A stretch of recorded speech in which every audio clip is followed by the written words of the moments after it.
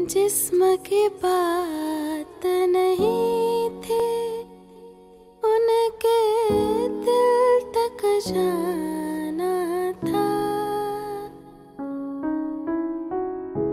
जिस्म के बात नहीं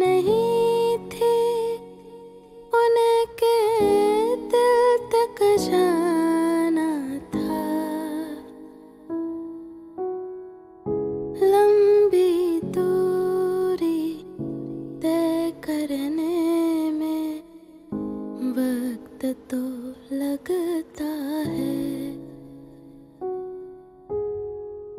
नए परिंदों को उड़ने में वक्त तो लगता है। प्यार का पहला खत लिखने में तो लगता है।